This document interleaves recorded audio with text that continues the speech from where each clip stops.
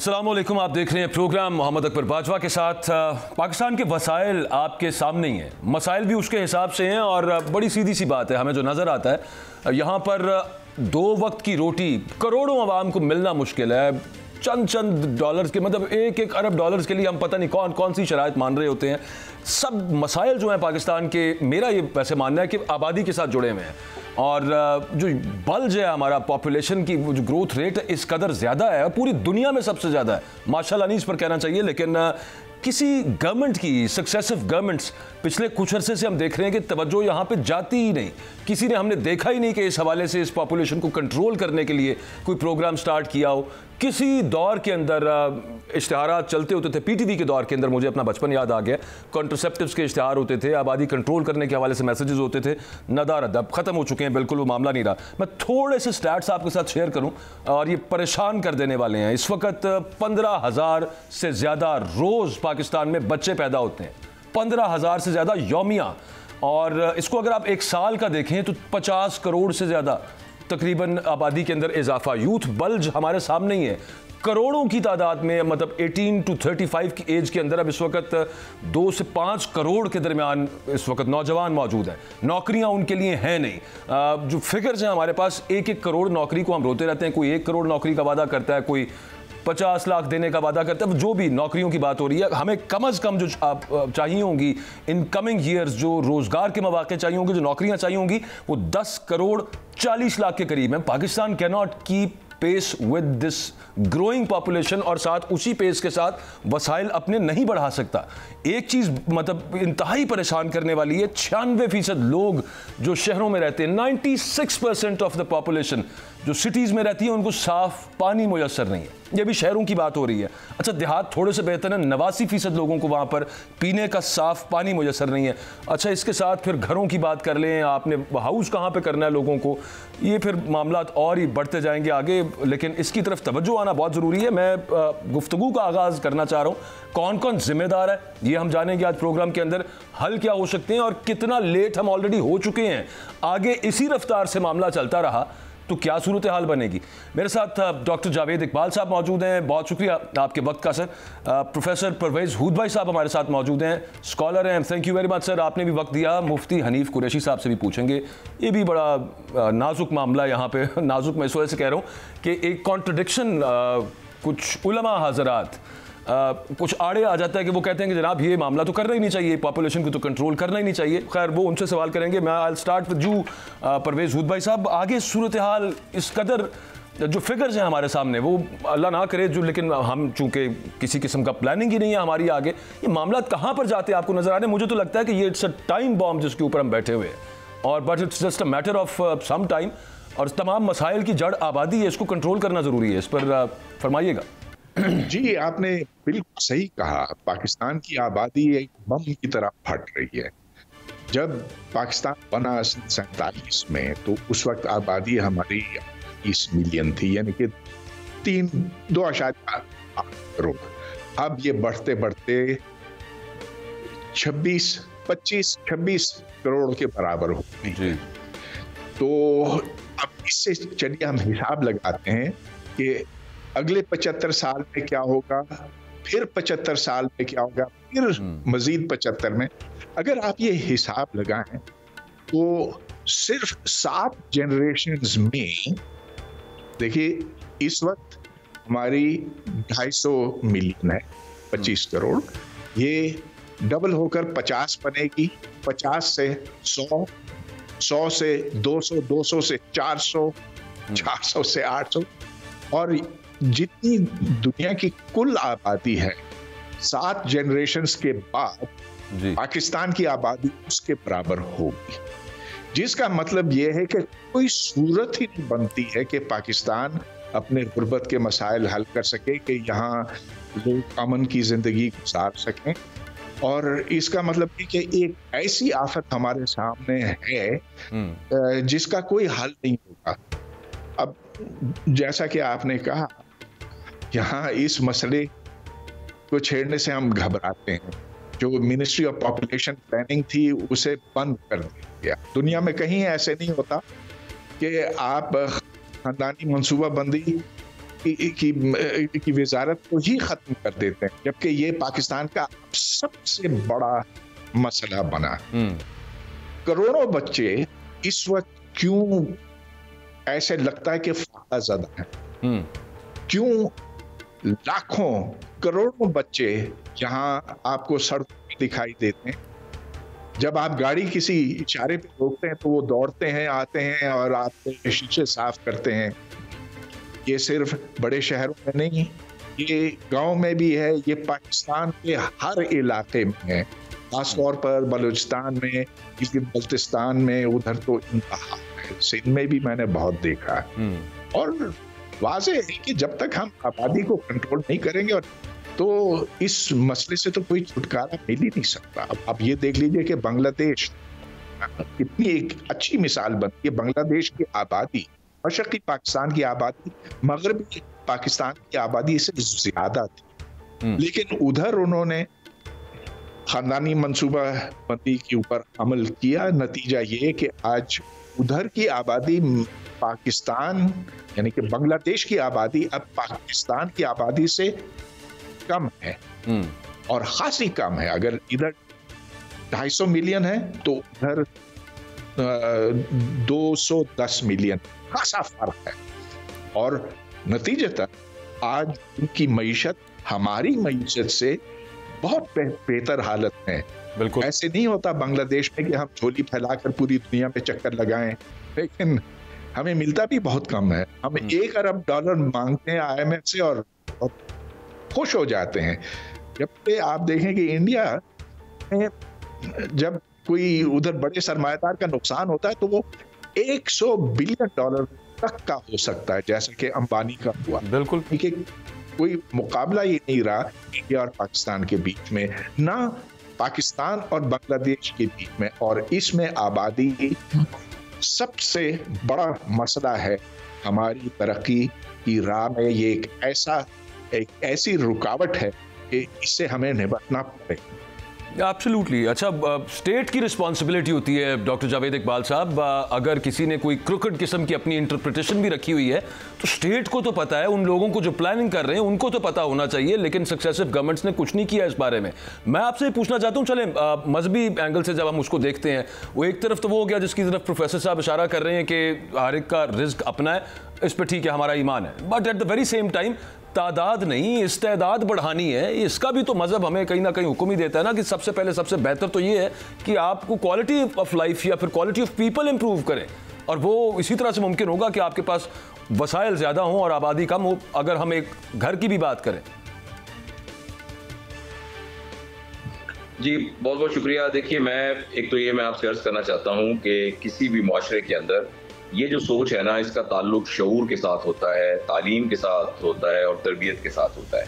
जिस मुल्क में तालीम के ऊपर एक बहुत ही कलील मकदार खर्च की जा रही हो और जिसमें ढाई करोड़ बच्चे स्कूलों से बाहर हों और जो स्कूलों में भी पढ़ रहे हों, वो भी तालीमी निसाब इस किस्म का हो, जो कि एक बहुत ही इंजीनियर्ड किस्म की एक फ़िलासफ़ी क्रिएट कर रहा हो, ऐसी सूरत में कुछ खैर का इम्कान जो है वो मुमकिन नहीं होता। तो लिहाजा ये बात तो सही है जो जैसे प्रोफेसर परवेज भाई साहब ने फरमाया है कि ये तो एक बॉम्ब है जो कि फट रहा है और उसके बारे में किसी को कोई ख्याल नहीं आ रहा। मेरे ख्याल में अगर हम इसको ठीक करना चाहें तो सबसे पहले ये है कि हुकूमत को, जैसे आप लोग मीडिया में हैं और बाकी सिविल सोसाइटी, ये इस तरह की एक आवाज़ क्रिएट करे कि हुकूमत इसको एक पॉपुलेशन कंट्रोल को एक एमरजेंसी के तौर पर नाफिज करे।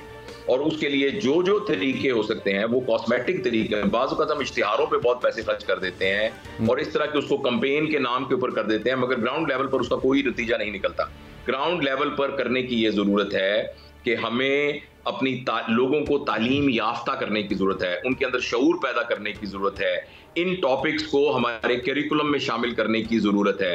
मैट्रिक के लेवल तक बच्चों को ये बात पता होनी चाहिए कि आबादी के क्या नुकसान हैं उनसे क्या होगा। तो ये फिर एक लॉन्ग टर्म इससे एक बेहतरी होगी। एक ये बात और दूसरा मैं आपने कहा था ना कि यहाँ बहुत आबादी है नौजवान तो मैं एक छोटा सा ना सोल्यूशन पेश करना चाहता हूँ हम्म। जो कि मैं पहले भी कई दफ़ा कुछ फोरम्स के ऊपर अर्ज़ कर चुका हूँ।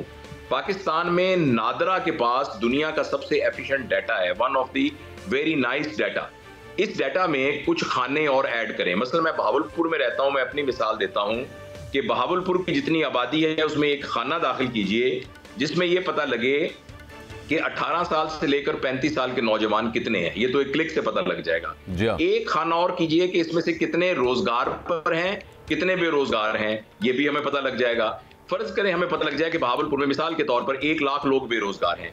आगे एक और खाना ऐड कीजिए कि ये जो बेरोजगार लोग हैं इनकी स्किल्स कितनी है? तो उस सारे खाने में सबसे जो अव्वल होगा वो होगा अनस्किल्ड वर्कर उसके बाद नंबर दो फॉर एग्ज़ाम्पल होगा मोटर मैकेनिक तीसरा होगा जो कि दर्जी का काम जानते हैं चौथा कुछ और जानते हैं। अब हुकूमत ये करे और उसके लिए कोई एक्स्ट्रा मशीनरी की ज़रूरत नहीं जो हमारी ब्यूरोक्रेसी एग्जिस्ट करती है वो ये देखे कि फॉर एग्ज़ाम्पल कितने लोगों को काम आता है। पाकिस्तान की बड़ी कंपनियाँ हैं टोयोटा है होंडा है किया है सुजुकी वटेवर उनको कहे कि बहावलपुर के निवाह में हम आपको एक एकड़ ज़मीन दे रहे हैं, जिसमें पाँच साल के लिए हम आपसे कोई टैक्स नहीं लेंगे लीज के ऊपर, वहाँ आप अपनी स्टेट ऑफ़ आर्ट वर्कशॉप बनाइए, लेकिन इन तीस लोगों को इसमें जॉब दीजिए। अच्छा इसी तरीके से जिनको खाना पकाना आता है डॉक्टर साहब उनके तो अपने ऑपरेशंस पहले स्केल डाउन हो रहे हैं। जिन बड़ी बड़ी हम पाकिस्तान की जिस मर्ज़ी कंपनी की बात कर लें यहाँ पे जो स्टेट ओन्ड एंटरप्राइजेज हैं वो हम वो वैसे नहीं चल पा रही हमसे उनको हम प्राइवेटाइज करना चाह रहे हैं। जो प्राइवेट सेक्टर है तो वो सुकड़ता जा रहा है साथ तो तरीका यानी बात आपकी ठीक है तो लेकिन उसमें सबसे पहले तो वॉर फुटिंग्स के ऊपर इसको रोकना कि ये जो बच्चे पैदा कर करके एक एक खानदान में आठ आठ बच्चे आ, मैं बात कर रहा था किसी से वो आ, इसी प्रोग्राम के हवाले से कुछ तैयारी के लिए। तो वो बच्चा बच्चा सेंटर वाले वो बताते हैं कि जनाब वो चाइल्ड मोर्टेलिटी रेट ज़्यादा है। वॉर फुटिंग पे क्या करेंगे जी जी कम अज कम सबसे पहले एडवर्टीजमेंट तो स्टार्ट कर दें उसके अलावा कोई मतलब जहन तो बनाए फिर उसके बाद एहतजाज भी शुरू हो जाएँगे। मैंने मुझे ना ब्रेक लेने के लिए कहा जा रहा है। मैं जी ये बात तो मैं सिर्फ़ एक सर एक ब्रेक लेंगे तो बड़ा इंपॉर्टेंट है मुफ्ती हनीफ कुरैशी साहब ही represent huge section of the society also and जिन मतलब वहाँ से एक रखना आता है। अच्छा आबादी वाले मामले को लेकर जी। मैं उनकी तरफ़ भी जाना है उनसे भी जरा पूछते हैं। Let me just take a break stay with us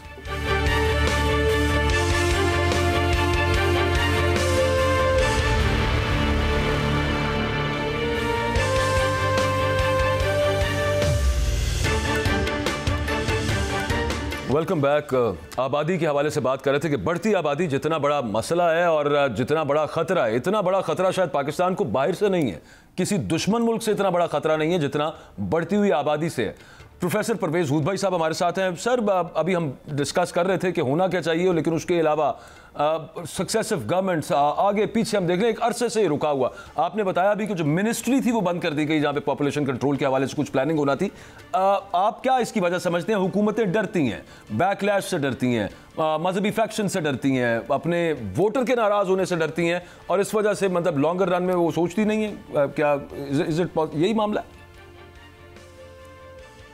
मेरा नहीं ख्याल है कि वोटर से डरती है हम्म। ये, ये मजहबी कुतों से डरती और उसकी वजह यह है कि उनकी दहशत है अब आप देख लीजिए कि पोलियो के मामले में हालाँकि इसे सिर्फ़ सेहत कम अज कम आप पोलियो जैसी एक मोहलिक एक ऐसे मोहलिक मर से बच सकते हैं हम्म।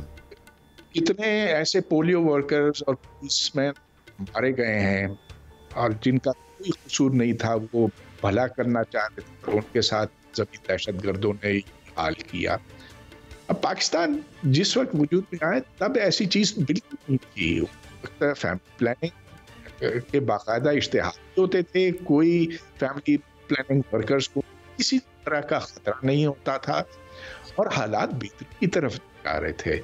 लेकिन जब से ये जुनून जुनून, मजहबी जुनून दाने से तन भड़काया गया तो और चीज़ों के अलावा ये मसला भी पैदा हुआ है। हम्म। और क्या कहूँ अब तो जितने भी जितनी हुकूमतें आई हैं किसी ने इसको उसको छेड़ा ही नहीं है खौफ के मारे। अच्छा ये तो जो खौफ है ना मैं I am sorry to cut you here मुफ्ती साहब हैं मैं जरा उनसे पूछ लेता हूँ कि ये बावर नहीं कराते कि इस मसले किए बगैर कोई चारा नहीं। बिल्कुल बिल्कुल दुरुस्त बात है। ये सिलसिला चलेगा। लेट मी आस्क बहुत शुक्रिया मुफ्ती हनीफ कुरैशी साहब। आपने यू गिवन अस टाइम यहाँ मुफ्ती साहब ये फरमाइएगा कि आबादी बहुत बड़ा मसला है और एवरी वन अंडरस्टैंड इट हम मुल्क के अंदर मतलब आगे वसाइल हमारे पास कम से कम होते जा रहे हैं। ज़ाहिर है क्योंकि आबादी बढ़ती जा रही है। इस पर आ, आपकी क्या राय होगी? स्पेशली कीपिंग इन माइंड मतलब आप फ़िका को जहन में रखते हुए राय दीजिए।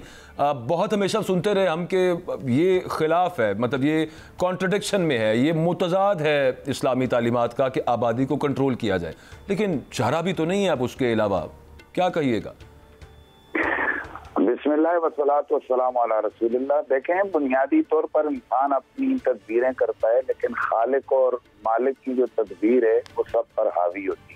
ये एक बड़ा वाजे और अटल कुदरत का कानून है। अल्लाह ताला के नबी ने भी फरमाया खुद अल्लाह ताला भी फरमाते हैं कि जिस रूह ने दुनिया में आना होता है उसमें आकर बहरहाल इंसान को अपने तौर पर तदबीर करता है। अगर अजल कोई शख्स करता है किसी वजह से अगर खातून का कोई मामला है या दीगर कोई मामला है तो अजल करने की इजाज़त दी गई है।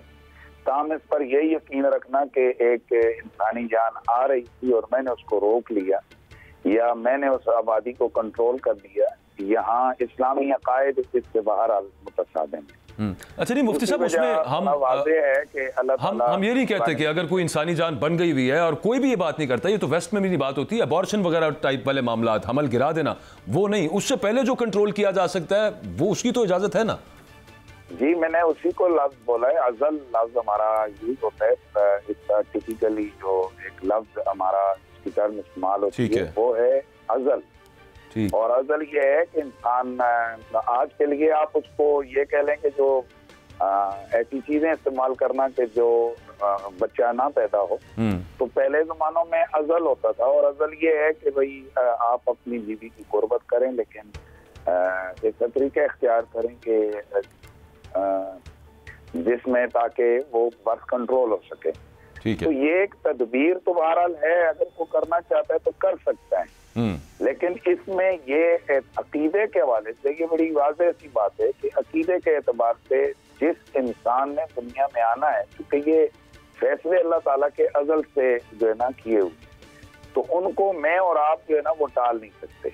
और दूसरी बात ये है कि मैं इस बात पर हैरान होता हूँ ये आबादी को कंट्रोल करने के प्रोग्राम हमारे जो इस्लामिक कंट्रीज़ हैं उनमें तो इनका बड़ा करोड़ों अरबों रुपए लगाए जाते हैं और इस पर बड़ी लेदे और बड़ी टॉक शोज़ और बहुत ज़्यादा कोशिश की जाती है हम्म, हम्म। लेकिन सवाल ये पैदा होता है कि यही आबादी की कंट्रोल का जो सिस्टम है ये यूरोप में अमेरिका में कनाडा में इसराइल में वहाँ पर क्यों नहीं है? वहाँ पर तो आबादी की हौसला अफजाई की जा रही है। नहीं सर और वहाँ पर मुफ्ती साहब मैं वैसे आपको छोटी सी गुजारिश करूँ? जिससे उनकी आबादी बढ़े। सर इसराइल की आबादी आपके इल्म में है वैसे कितनी है? मैं वैसे एक मिसाल के तौर पे बात कर रहा हूँ और उनके रिसोर्सेज कितने हैं? वो मिल के आप पूरी यूरोपीय कंट्रीज़ जो है ना उनसे ज़्यादा इसराइल इस वक्त कमा रहा है उनसे ज़्यादा मिलिट्री माइट है। आबादी उनकी सिर्फ़ नौ आशारिया पाँच मिलियन है। सिर्फ़ नौ आशारिया पाँच मिलियन है। ये पचानवे लाख के करीब है। लाहौर से भी कम आबादी है मुफ्ती साहब इसराइल की। ये हमारे इस्लामिक जो पॉइंट ऑफ़ व्यू उसके खिलाफ है कि हम ये कहें कि मुसलमानों की आबादी कम हो। अल्लाह के नबी ने तो हमारी रानुमाई से नहीं फरमाई। रसूल ने तो इरशाद फरमाया कि शादियाँ करो ऐसी खवातीन के साथ कि जहाँ से अल्लाह ताला तुम्हें औलाद की दौलत अता करे।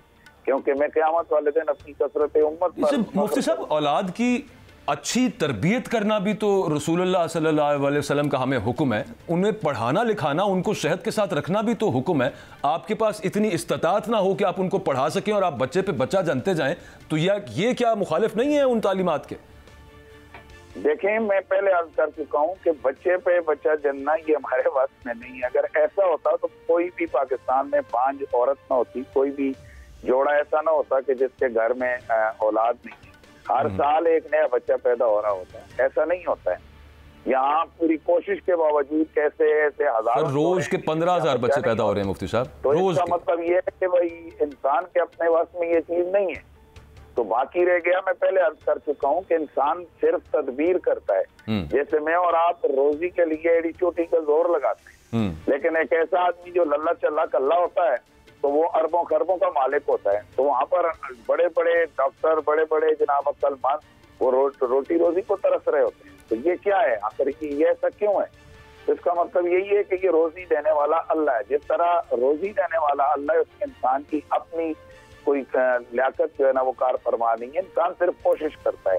तो मैं पहले ही अपने जुमले में कह चुका हूँ हम्म। कि आप अगर अपनी तरफ़ से तदबीर करते हैं तो बिलाश शुभ कर सकते हैं आप। लेकिन बहरहाल होना वही है जो खालिक को नहीं नहीं इसमें तो इसमें तो कोई इनकार ही नहीं है। मैं तो सिर्फ़ ये कह रहा था कि बेहतर तरबियत करना अच्छी तरबियत करना ये भी हुक्म है। और इस हुक्म को मानना इसके साथ तो मुमकिन नहीं है कि मतलब आपके वसाइल उतने ना हो और आप आबादी उतनी कर लें। खाना आबादी की अगर मैं सिर्फ़ बात करूँ प्रोफेसर साहब आपकी इजाज़त से मैं एक सवाल उसके बाद मैं फिर आप, आपके साथ ही डिस्कशन करनी है।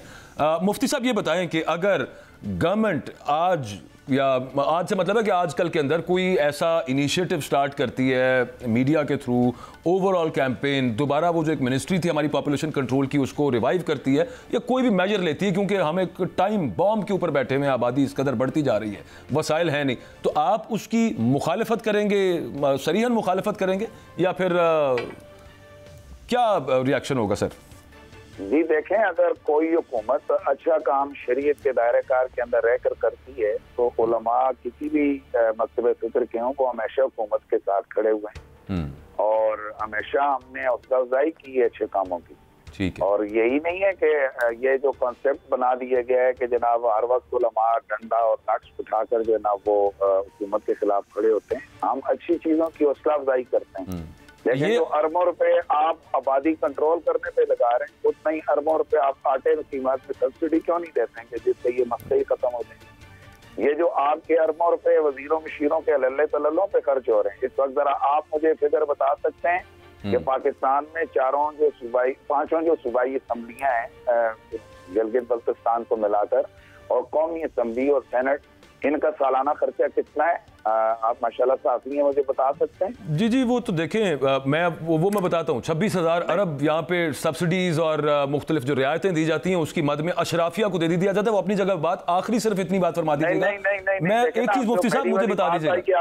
आपने बात को घुमा दी है। नहीं नहीं मैं नहीं घुमा रहा मैं उसी पे आता हूँ। मैं सिर्फ़ आपसे पूछने लगा था आपने कहा कि हर अच्छी चीज़ का उलमा साथ देते हैं। आपके ख्याल में आबादी कंट्रोल करना अच्छी चीज़ नहीं है मैं ये पूछना चाह रहा हूँ सिर्फ़। भाईजान मेरा सवाल देखे ना बात तो अब अब आई है कि बात आई है और आप उसको बिल्कुल ओह नहीं मैं उस पर आ जाता हूँ सर। आप देखें उसके ऊपर तो स्टैट्स मौजूद है। मैं सिर्फ़ आपसे पूछ रहा था क्योंकि मेरा, ये कहना है कि हाँ। जितना ज़ोर इस वक्त हमारा हमारे प्रोग्रामिंग करने वाले लोग इस चीज़ पर दे रहे हैं कि भाई आबादी पे कंट्रोल करो और इस पे अरबों रुपए लगा रहे हैं। ठीक है। तो भाई इससे पाँच परसेंट कहते हैं ना इतना आप ज़ोर इस बात पर लगाएँ कि ये वजीरों में सर वैसे काश लगा रहे होते मुफ्ती साहब कोई अरबों नहीं लग रहे यहाँ पे। वो इधर तो एक ढेला नहीं लग रहा आबादी कंट्रोल करने पे सर? जो गवर्नमेंट को? मुफ्ती साहब इधर एक ढेला खर्च नहीं हो रहा आबादी कंट्रोल करने के हवाले से। आप अरबों रुपए की बात कर रहे हैं मतलब यहाँ पे तो वो मिनिस्ट्री बंद हो चुकी हुई है। इधर तो कोई डिपार्टमेंट काम नहीं कर रहा कि जो अरबों रुपया यहाँ पे खर्च कर रहा हूँ सर। नहीं मैं मैंने ये जो आपसे पूछा है जो कौमी असम्बली सूबाई असम्बलियों के अखराज हैं के पेट्रोल की मद में बिजली की मद में और उनके दीगर जनाब एयर टिकटिंग की मद में और दीगर जो है ये अरबों नहीं है खरबों रुपए हैं सालाना। ठीक ठीक तो इन्हीं खरबों रुपए को आप कंट्रोल करें और उसको आप अपनी आबादी की फलाह बहबूद के लिए तरक्की के लिए इस्तेमाल करें। तो मेरे ख्याल में आप जैसे लोगों को या हुकूमत को इतना ज़्यादा लंबी चौड़ी पर कंट्रोल करने बिल्कुल ठीक है। चलें आपका आर्गूमेंट इस पे आगे। मैं एक ब्रेक लेनी है जी। मैं वापस आता हूँ। परवेज हूद भाई साहब हमारे साथ हैं। उनसे पूछते हैं कि ये जो यू नो दूसरी तरफ़ से आने वाला मामला है कि आबादी कंट्रोल करने की ज़रूरत नहीं है। जो हम अयासियाँ कर रहे हैं उनको कंट्रोल कर लें तो आबादी मैनेज हो जाएगी। फलने फूलने दें। एक ब्रेक लेते हैं। वापस आते हैं।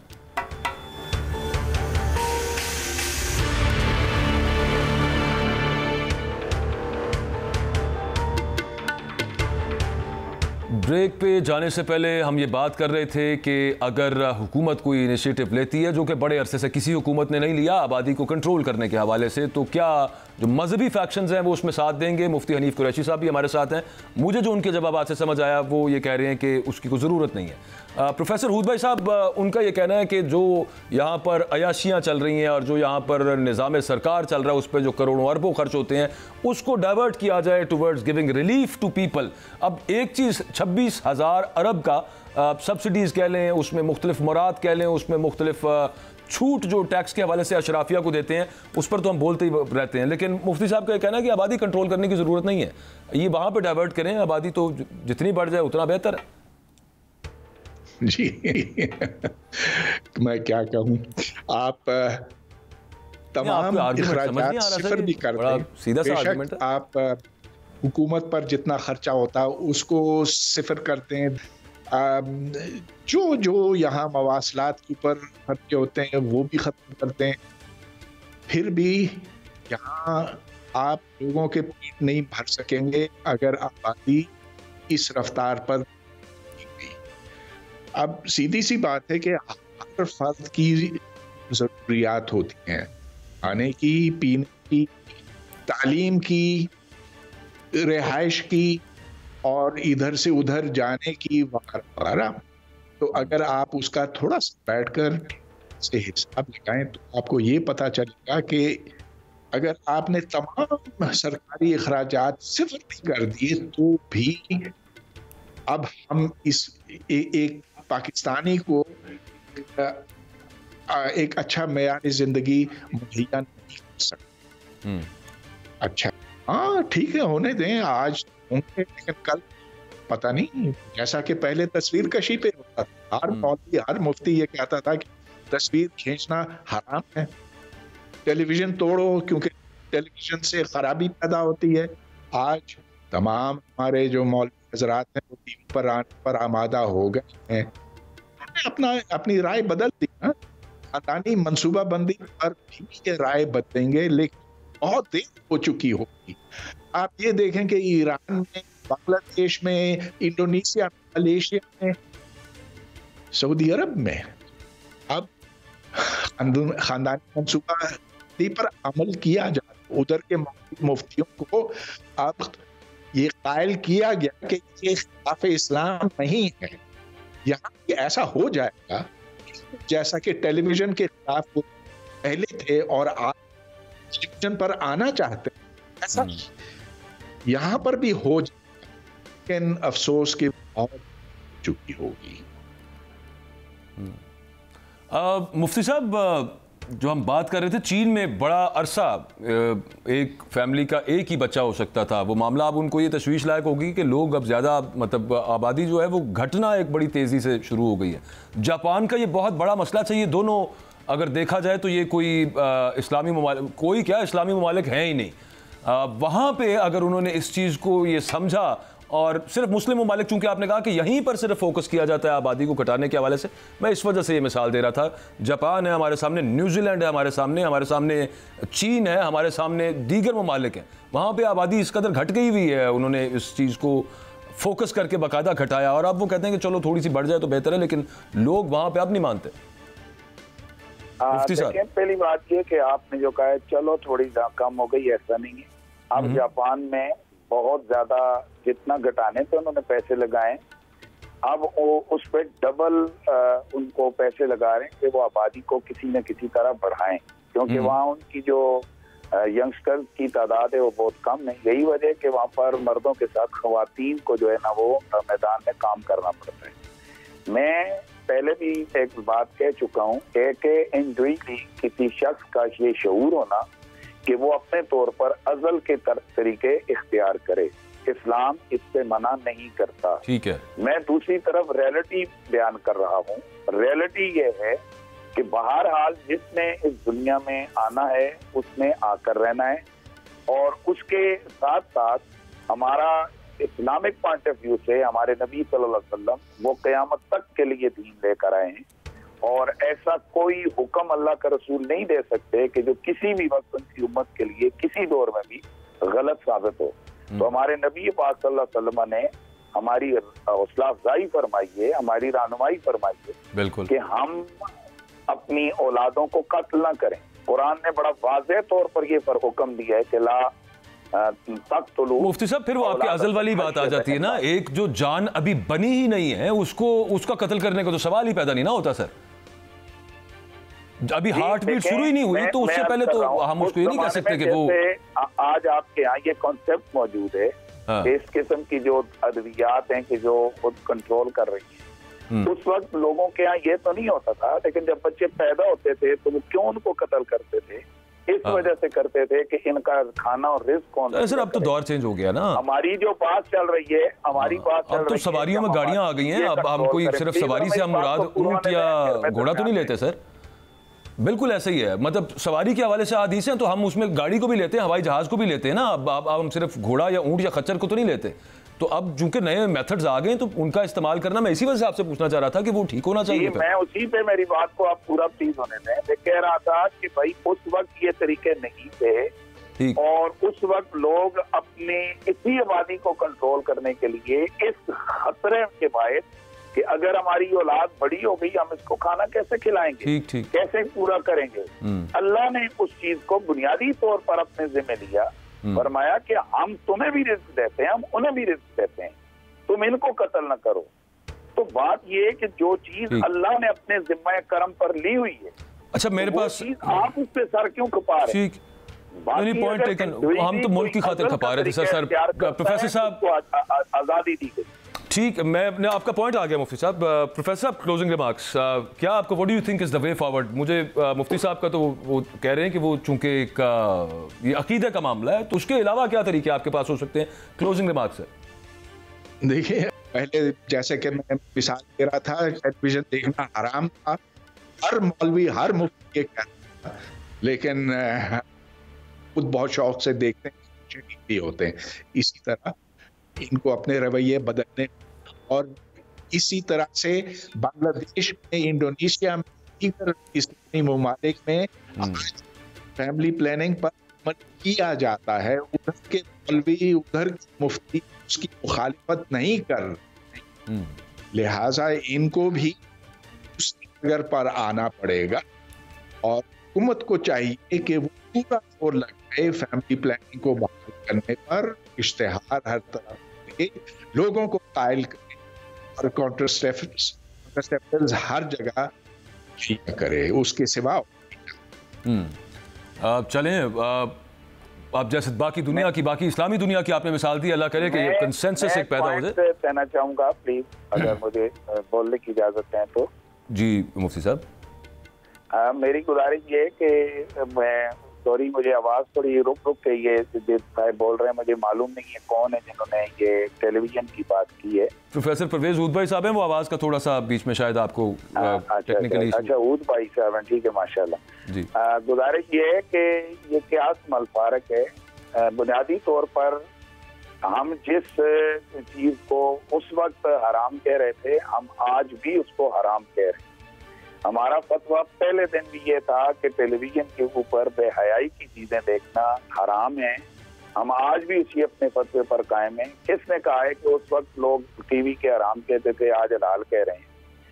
सर वो स्पीकर की बात कर रहे थे। फिर साथ वो तस्वीर कशी की बात कर रहे थे। ये हराम नहीं है। लेकिन देखिए कई चीज़ें हैं ना चेंज तो हुई है।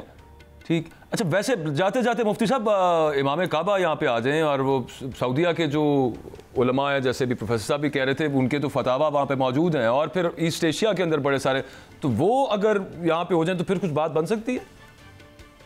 भाई, मैं, मेरे ख्याल में, मैं कोई आपके इसी प्रोग्राम में सात से आठ दफ़ा कह चुका हूँ कि बुनियादी तौर पर अजल इस्लाम उसकी इजाज़त देता है अगर इंडिविजुअली कोई अपनी अकल के मुताबिक अजल का तरीका करता है तो वो कर सकता है। हम्म। अब मेरे ख्याल में मैं नहीं नहीं मैं आप सुन रहा था वो असल में साथ आप लेकिन लेकिन भी लगा देते हैं ना वो इस वजह से था।